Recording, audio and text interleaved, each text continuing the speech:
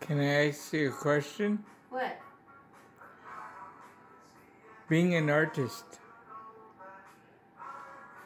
Yeah. from the from the legends and the and the folklore of Ireland and Irish uh, culture, why do why do human beings find the uh, legends of the mermaids so fascinating? Good question. I think it's about. There's a couple of theories. They say it's about entrapping women and catching women that you can't seem to get a grip on. And this one's a slippery eel. But she's she's gone. See, she's escaping out of the Yes. her skin here. Um,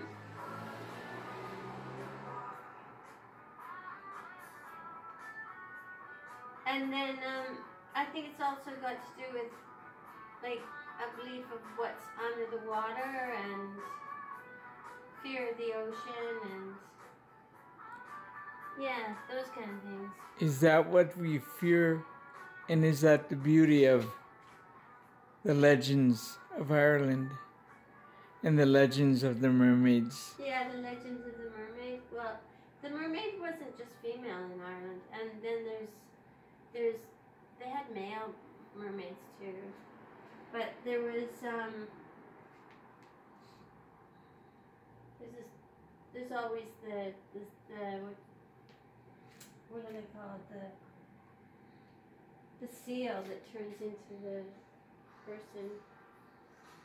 I can't think and paint and draw um, selkies or shelfies. My brain's gone. I must make that tail a lot. Did you get that picture? Yes, I did.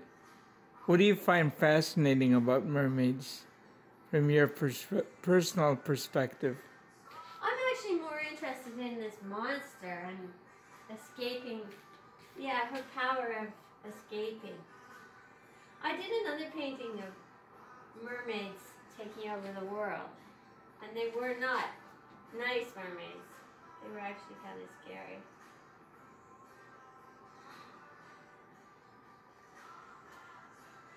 But isn't that the mystery and the mystique and the intrigue about how we're so drawn to the unknown world? Yeah, the deep. Yes. Yeah, this one I wanted to get that feeling of the deepness of the ocean.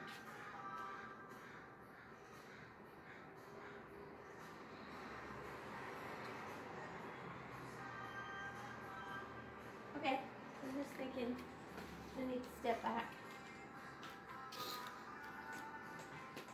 That's enough taping too, Stephen. Great. Thank you.